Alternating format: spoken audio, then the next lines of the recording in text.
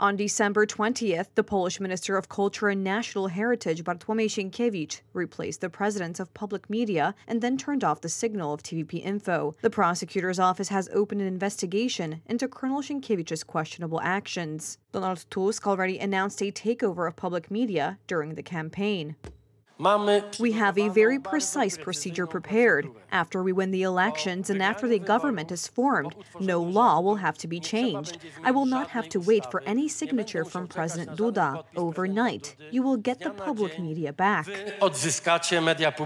Donald Tusk designated Bartłomiej Sienkiewicz a lieutenant colonel of the State Protection Office, who is head of the Interior Ministry in his previous government, to fulfill the new government's planned actions on Poland's public media.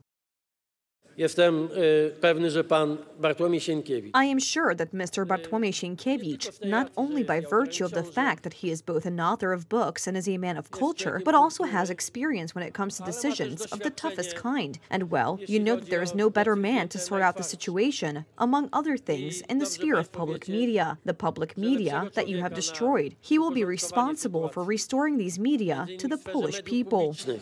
Mediów publicznych, które zniszczyliście. Late in the evening of December 19th, the Polish Sejm passed a resolution under which the takeover of public media began. 344 deputies voted, 244 in favor, 84 against, 16 deputies abstained. I note that the Sejm has passed a resolution on the restoration of legal order and the impartiality and integrity of the public media and the Polish press agency. The presidents of Polish television, TVP, and Polish radio are chosen by the National Media Council, according to the law. Minister Sienkiewicz, disregarding this particular law, dismissed them the morning of December 20th. Moments later, at 11:18 a.m., the TVP info signal was turned off. Prawo, postanowił no, postanowił naganem wprowadzić własny, własny porządek e, do mediów, choć nie ma. Piotr Zemla entered the office of TVP president Mateusz Matyszkowicz, accompanied by strong men. The man began claiming to be a member of the new supervisory board of Polish television. It came to a scuffle, and as a result, MP Joanna Borowiak, who was conducting an MP intervention, was hurt.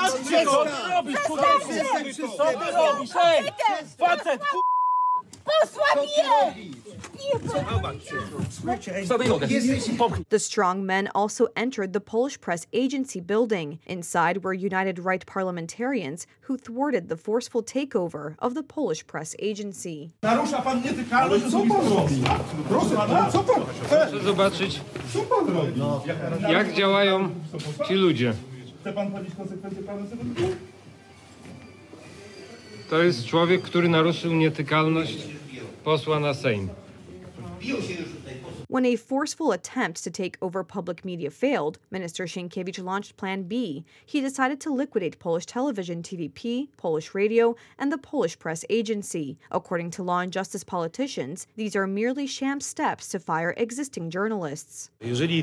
Mm, takie działania zostały podjęte, widać, If such measures have been taken, it is apparent that they are of a sham nature. This is evidenced by Mr. Majher's statements that these actions are only for the purpose of taking over the public media, seizing power over the public media, and sham actions are subject to criminal sanction.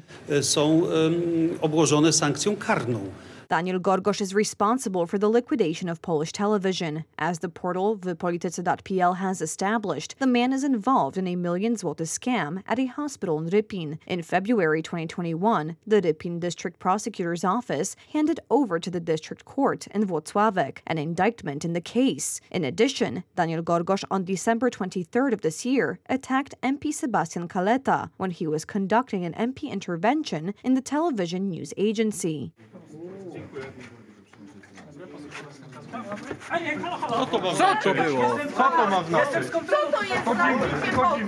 After a notice filed by Law and Justice MPs, the district prosecutor's office in Warsaw opened an investigation into the unlawful dismissal of public media presidents and an attack on MP Joanna Borowiak. First of all, we need to gather this evidence, secure evidence from the very premises of these institutions, the events that took place there, and secure documentation that will allow us to assess whether there was a possible overstepping of authority. All indications are that public media is just the beginning when it comes to the takeover of state institutions. Donald Tusk in the election campaign also talked about strong people who will take out the president of the National Bank of Poland, Adam Glapiński, and the president of the Constitutional Tribunal, Julia Przyłębska. The parliamentary intervention of United Right politicians in the television news agency continues. In parallel, demonstrations in defense of freedom of speech are taking place all across Poland.